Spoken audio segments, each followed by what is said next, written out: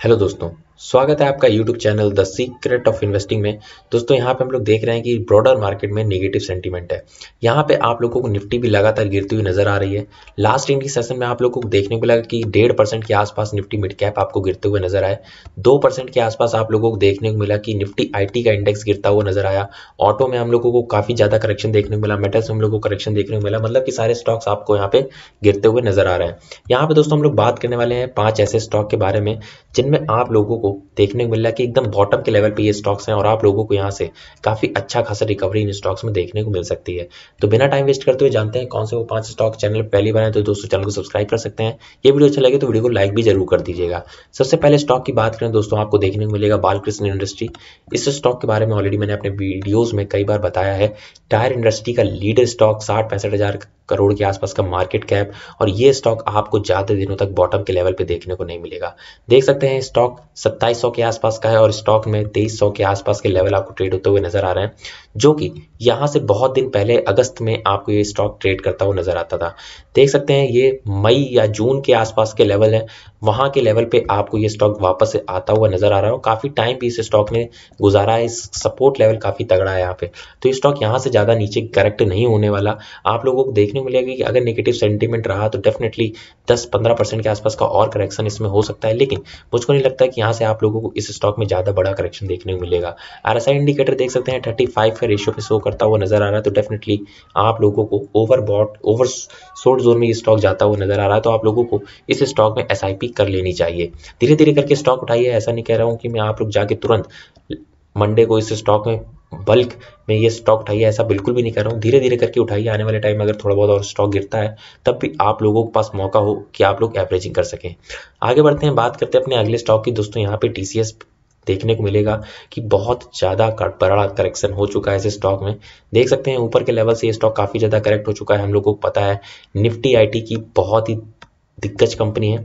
यहाँ पे आप लोगों को देखने को मिलता है कि इंडिया में ही इसका कारोबार नहीं, बाहर भी आप लोगों की स्टॉक लिस्ट होता हुआ नज़र आता है वहाँ पे भी आप लोगों को काफ़ी अच्छा खासा इस स्टॉक ने रिटर्न डिलीवर करके दिखाया है। और हम लोगों को देखने को मिलता है कि ये स्टॉक ज़्यादा दिनों तक नीचे के लेवल पे देखने को नहीं मिलता क्योंकि आईटी स्टॉक बहुत ही ज़्यादा बुल रन में आप लोगों को हमेशा देखने को मिलते हैं। सबकी नज़रों में रहते हैं बड़े बड़े एनालिस्ट बड़े बड़े ब्रोकर जाते तो जैसे ही ये स्टॉक करेक्ट होते हैं, वैसे ही नीचे के लेवल पे इन स्टॉक्स में बाइंग आ जाती है और ये स्टॉक वापस से बाउंस बैक करने लगते हैं। तो इन स्टॉक्स में भी आप लोगों को नज़र बनाए रखनी है। अगर आप लोग बहुत दिनों से इंतज़ार कर रहे होंगे कि इस स्टॉक में खरीदारी करने के बारे में तो टीसीएस आपको काफ़ी अच्छे लेवल पर मिलता हुआ नज़र आ रहा है।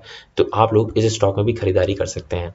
आगे बढ़ते हैं, बात करते हैं अपने अगले स्टॉक की। दोस्तों, वैसे तो हम लोगों को देखने को मिल रहा है कि बहुत सारे केमिकल स्टॉक है जिनमें आप लोगों को लगातार गिरावट देखने को मिल रही है, चाहे वो दीपक नाइट्राइट हो एल्किल एमाइन हो बालाजी एमाइन हो। लेकिन यहाँ पे आपको एल्किल एमाइन देख सकते हैं, काफ़ी ज़्यादा करेक्ट होता हुआ नज़र आ चुका है ओवरसोल्ड जोन में जा चुका है। और ये स्टॉक भी आप लोगों को पता है कितना बड़ा मल्टीबैग रिटर्न दे चुका है।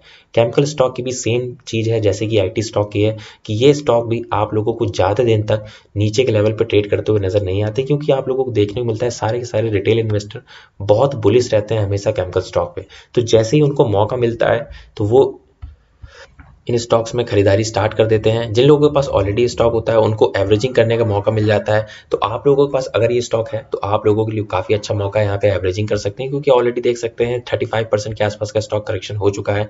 4,700 का स्टॉक है 3,200 के आसपास अवेलेबल है। तो यहाँ पे आप लोगों को इससे अच्छा मौका बार बार देखने को नहीं मिलेगा। देख सकते हैं यहाँ पे इस स्टॉक का प्राइस ये मई में चला करता था और पूरे साल की रैली एक तरीके से हम लोग बोल सकते हैं जो थी वो स्पॉइल आउट होती हुई नज़र आ चुकी है। और एक चीज़ और आप लोग देखें कि इन स्टॉक्स में हमेशा ही बहुत तेज़ी से बुलरन आता है। कभी भी ग्रीन कैंडल बनेगी तो बहुत बड़ी ग्रीन कैंडल बनती है। तो आप लोग कभी भी इसकी तेज़ी को नहीं समझ सकते। और आप मार्केट में कभी भी कोई नहीं जानता है कि किसी भी स्टॉक का कौन सा बॉटम लेवल है, कौन सा एकदम टॉप लेवल है। तो आप लोगों को हमेशा ही जब वो स्टॉक एकदम ऊपर के लेवल पे हो, तब आप लोगों को थोड़ा बहुत सेल ऑफ़ करने के बारे में सोचना चाहिए। और अगर वो नीचे के लेवल पे हो तो आप लोगों को एसआईपी स्टार्ट कर देनी चाहिए, ताकि अगर वो और भी गिरे, दस पंद्रह परसेंट का करेक्शन और भी आए, तब भी आप लोगों के पास मौका हो उस स्टॉक में खरीदारी करने का। आगे बढ़ते हैं, बात करते हैं अगले स्टॉक की। दोस्तों, यहाँ पे देखने को मिलेगा बजाज फाइनेंस इस स्टॉक के बारे में कुछ भी बताने की ज़रूरत नहीं है, क्योंकि सबको पता है कितना बड़ा मल्टीबैगर स्टॉक है ये।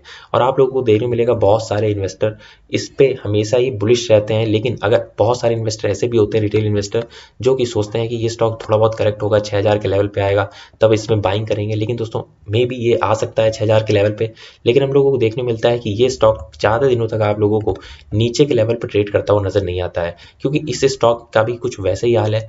निफ्टी फिफ्टी का one of the best stock आपको देखने मिलता है, जब चलना स्टार्ट करता है तो आप लोग ये रैली देख सकते हैं।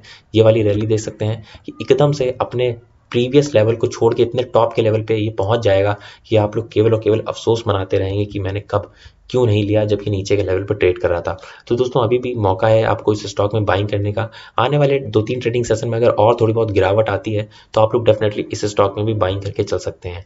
आगे बढ़ते हैं, बात करते हैं अपने आखिरी स्टॉक की। यहाँ पर दोस्तों देखने को मिलेगा आईटी सेक्टर का एक और stock S C L technology यहाँ पे सारे के सारे ब्रोकरेज हाउसेस और बड़े बड़े इन्वेस्टर की बहुत ही ज़्यादा हाई रिकमेंडेशन आ रही है बाइंग की तरफ़।